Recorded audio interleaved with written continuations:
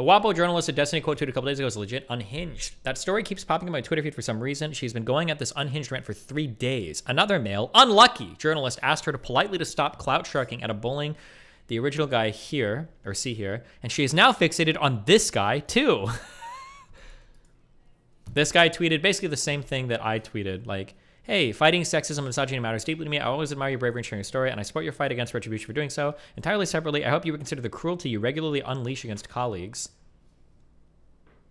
Um, I reject your attempt to make a specific critique of your regular public bullying into a sweeping opera about principles. As I said, Weigel's retweet was offensive and should be called out. It was strongly condemned internally, so I'm confused about your implication otherwise.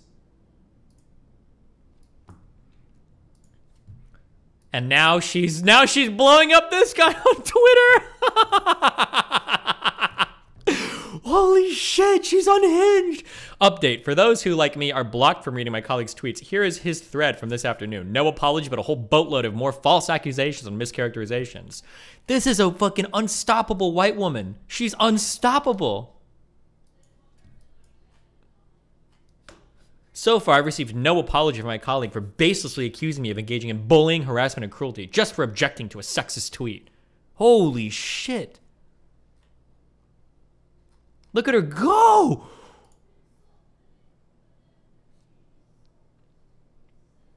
I've reached out to bosses at Washington Post. Dude, it's unbelievable. Then the Washington Post chief editor released a statement asking everyone to chill and go through proper channels to address disagreements, and she's attacking her too? Wait, link the tweet for that. Really? The most maddening thing is the crowd of Yas Queens on Twitter who just keep defending We Mean and just cannot see how blatantly she's weaponizing this whole incident. It's in the comments. Wait, is it? You'd have to show me where. I don't know where. It's in the comments of the Reddit post. Oh, okay, hold on. Also, apparently, she had an incident where she destroyed the career of a guy she had a one night stand with after she accused him of rape. When during that night, she drove him to his apartment and walked six floors with him and had consensual sex with him, but felt like she was after the fact. You can read the whole story here. It's a very long article. She also got her WAPO job after the story was publicized and the guy's career in journalism was destroyed. He started law school after that.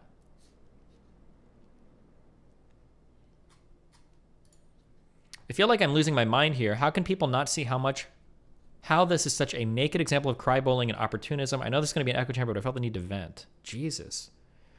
She's legit unhinged. She filed a lawsuit against the Washington Post saying they illegally discriminated against her by temporarily banning her from covering stories related to sexual assault. This was after she publicly came out as a sexual assault victim. The judge dropped the suit after he ruled that she failed to substantiate a discriminatory motive. In all honesty, I think the reason she's responding this way, she got in trouble for something similar. She was suspended from the paper after she tweeted a link to a Daily Beast article which detailed a sexual assault allegation made against Kobe Bryant literally hours after his death. Jesus. Many journalists came out against WAPO's decision to suspend her, and she was subsequently reinstated. But I wouldn't be surprised if she still had a grudge over this given how she reacted. Damn. Kobe Bryant died like in a helicopter crash with like two of his family members or something, right? Like that was like a fucking insane. Hold on. Am I is my recollection wrong? Um, I might have been biased when I read this at the time. Was the Kobe Bryant accusation was bullshit, right? Wasn't it a girl that like went up to his room at night and she basically said later that he pressured her into sex or whatever? But it seemed like it seemed like it was consensual. Am I wrong on that, or what? Whatever came out from that? Was there more data that it was kind of yikes? It was real. He almost definitely raped her. We will never know. Seemed like it. Oh, so we don't know. Maybe we should review that at some point in time. It was pretty bullshit, and she had like, I don't know if that's true. Um, at the Omni Destiny, the accusations against Jonathan Kaiman and Felicia Sonmez's role in this sound like they could make an interesting stream segment. Initial accusation from first accuser Laura Tucker.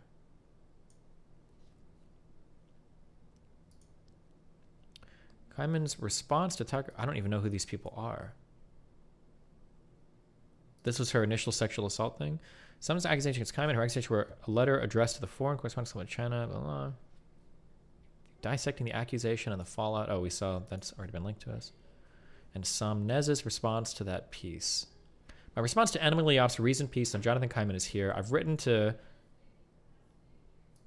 K. Mangu-Ward and others requesting that they correct the piece. In our 8,000 word story, there was a lot Miss Yoffe got wrong, so please forgive the length.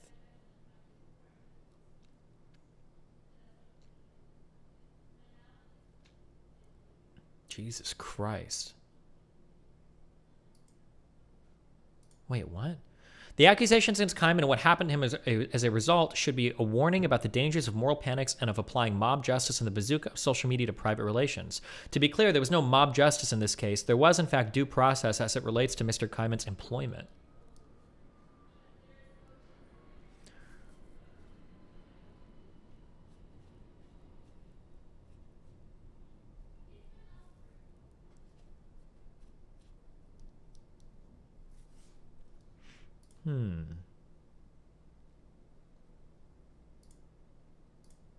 Jesus.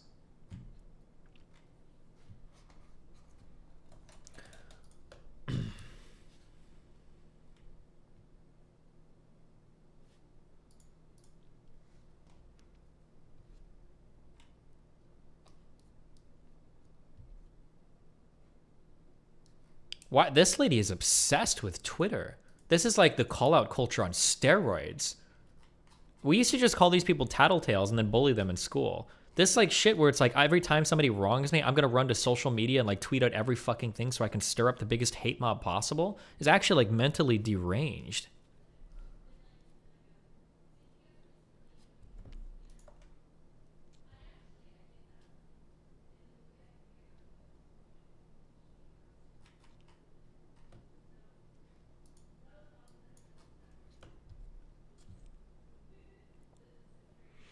Remember Jessica Price? I, I remember the name. Why do I remember that name? Jessica Price. What is who is she from?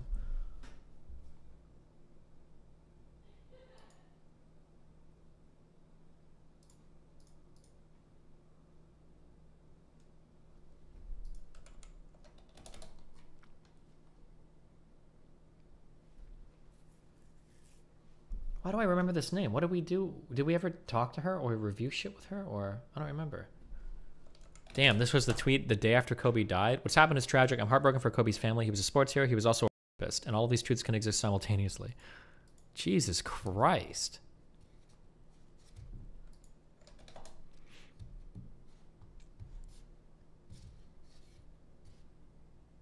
Guild Wars 2 developer, huh?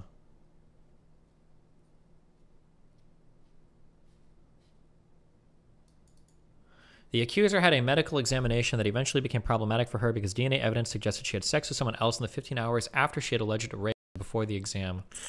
Oof. Okay.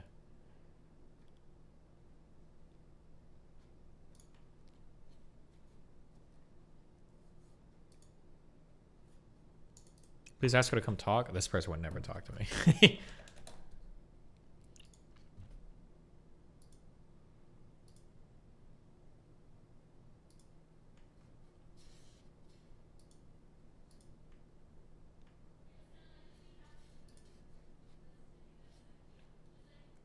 Link to the editor's statement. In the wake of the recent social media dis- dust-ups involving WAPO journalists, executive editor Sally Buzbee sends a memo to journalists admonishing them to treat each other with respect and kindness. Colleagues, we expect the staff to treat each other with respect and kindness both in the newsroom and online. We are a collegial and creative newsroom doing an astonishing amount of important, groundbreaking journalism. When issues arise, please raise them with leadership or human resource. We will address them promptly and firmly. Damn.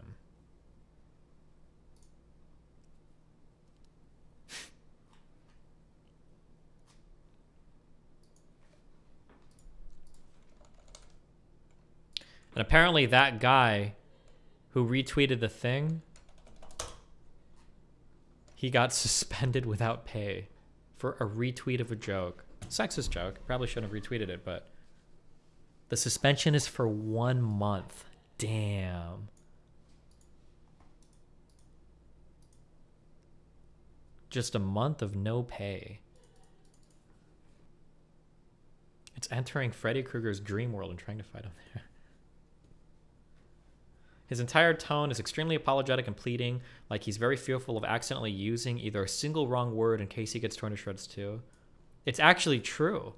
The um, you have to treat like some of these women online. I mean, fuck the insult, insult. You have to treat them like uh, like they're fucking uh, terrorists or like they're insane mass shooters. You're gonna be like, um, okay, so I understand that I'm coming from a place of white supremacy and patriarchy.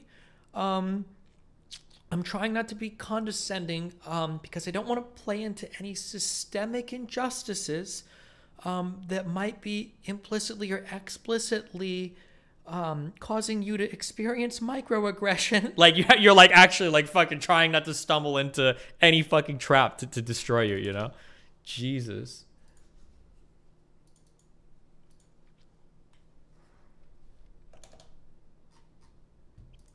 Did you just fucking say implicitly? Wait, can you not implicitly do something? Isn't that an implication? You imply something to, to kind of like implicitly encourage somebody or communicate something? No? Got him. Okay. The, the thing that sucks the most is these are these are the kind of people. It's not a good statement, but these are the kind of people that people are talking about um, when they're like, we just shouldn't work with women anymore. I mean, I'm not encouraging that. I don't think that's a good statement to make, but like, Jesus Christ. But. Um, okay, I think we'll read this one tomorrow, okay?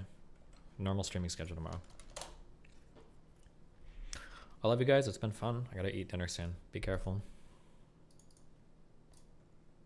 We'll be back tomorrow. It'll be good times, okay?